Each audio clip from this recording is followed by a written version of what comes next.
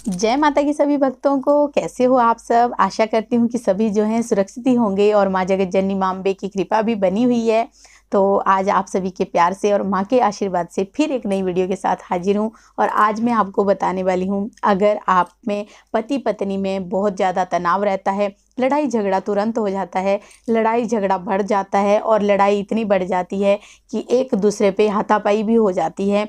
तो इस आ, क्या ऐसा करें जिससे जो है इस लड़ाई से मुक्ति मिले और लड़ाई हमारे घर में हमारे पति पत्नी के बीच में कभी भी ना हो हमारे जो संबंध है वो अच्छे बन जाए। क्योंकि पति पत्नी का जो संबंध होता है ये भगवान के द्वारा ही लिखा हुआ होता है हमारी चाहने से भी नहीं होता है।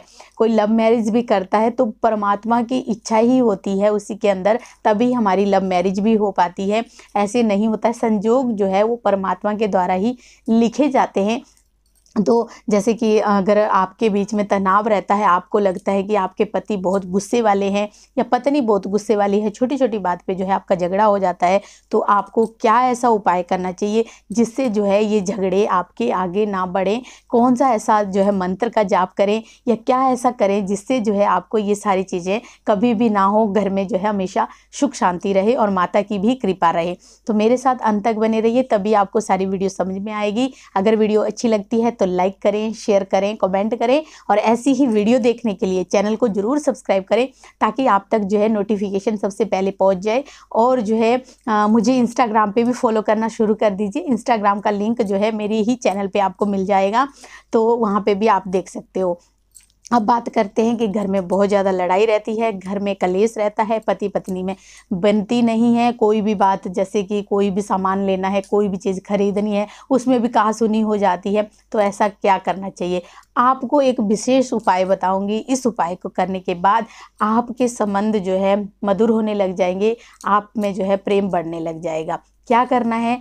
आपने क्या करना है कि अगर पति जो है गुस्से वाले हैं या पत्नी गुस्से वाली है तो उसके जो है आपने लाल रंग का कलावा लेना है और उस कलावे को पति अगर गुस्सा ज़्यादा करते हैं तो उसकी जितनी लंबाई है, पैर के अंगूठे से लेके सिर तक जो है आपने नाप लेना है, उसको माप लेना है। माप लेने के बाद उसमें जो है आपने तीन गाठे ऊपर की तरफ़ को खींच लेनी है।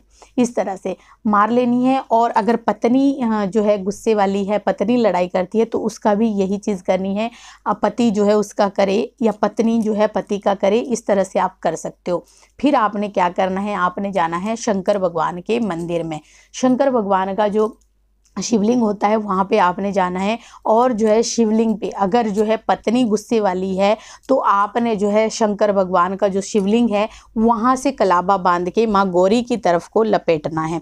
अगर जो है पत्नी गुस्से वाली है तो माँ गौरी से शुरुआत कीजिए और शंकर भगवान के शिवलिंग के तरफ़ को लपेट के तीन बार आपने लपेटना है और उसमें यही मनोकामना करनी है, यही जो है आपने बाबा से मांगना है कि हे शंकर भगवान, अगर हमारे घर में कोई भी किसी भी तरह की करा कराई ऊपरी पराई या पति पत्नी के संबंध में कोई भी छंदी विच्छेद हो रहा है या ग्रहों की हमारी पीड़ा है या हमारी कुंडली जो है वो मैच मैचिंग नहीं हुई है, हमारे जो है अच्छे विचार नहीं मिल पा रहे हैं तो हे बाबा, हमारे जो ये विचार है, इनमें मिठास लाइए, हमारे जो विचारों में मतभेद हो रहा है, इनको सही कीजिए, हम दोनों जो है आपके हमेशा आभारी रहेंगे, आपके लिए हमेशा जितना हमसे हो सकेगा, उतना आपके लिए करेंगे। तो क्या करना है आपने?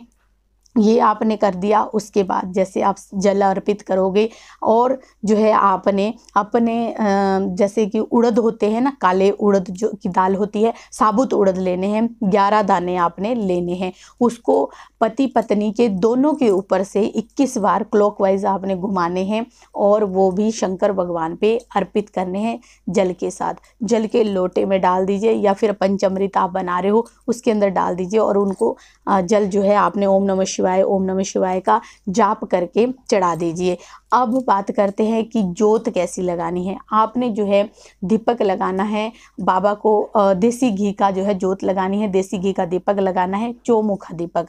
चौमुखा दीपक लगा के आटे का बनाना है, उसको जो है आपने हर सोमवार के सोमवार लगाना है। ये उपाय हर सोमवार 21 सोमवार लगभग कीजिए। उसके बाद आप अपने आप ही इस सारी जो लड़ाई झगड़ा हो रहा है, जो आपकी लाइफ में जो है पार्टनर के साथ बन नहीं रही है, आपके जो है विचार नहीं मिल रहे हैं। अपने आप ही शंकर भगवान और माँ गौरी की कृपा से अपने आप पूर्ण होने लग जाएँगे, अपने आप ही मधुर होने लग जाएँगे, आपके जो विचारों में मिठास आने लग जाएगी, आपको अपने आप ही रिज़ल्ट मिलने लग जाएगा। या कोई भी घर में जो है आपके ऊपर कोई बंधन होगा या किसी ने कुछ करवा दिया होगा, या कोई भी ऐसी नेगेटिव एनर्जी होगी जो आपको आपस में मिलने नहीं देती है, आपस में विचारों को जो है छंदी विच्छेद रखती है तो वो सारी दूर हटने लग जाएगी। शंकर भगवान का ये उपाय बहुत बहुत ही अच्छा और बहुत ही सिद्ध है बहुत ही अजमाया हुआ है। हाँ, जो लोग इस उपाय को कर देंगे उनके जो है रिश्तों में कभी भी कोई भी खटास नहीं आएगी। आपका रिश्ता जो है बहुत ही ज़्यादा मज़बूत हो जाएगा जैसे कि माँ गौरी और शंकर भगवान का रिश्ता है उसी तरह से आपका भी रिश्ता बन जाएगा। और आशा करती हूँ ये वीडियो अच्छी लगी होगी। अगर अच्छी लगी है तो लाइक करें शेयर करें कमेंट करें और माँ के प्यारे चैनल को ज़रूर सब्सक्राइब करें। ऐसी ही ज्ञानवर्धक वीडियो देखने के लिए जो है चैनल को ज़रूर सब्सक्राइब कर दें, तभी आपको जो है ये वीडियो मिल पाती हैं। चलिए, जय माता की।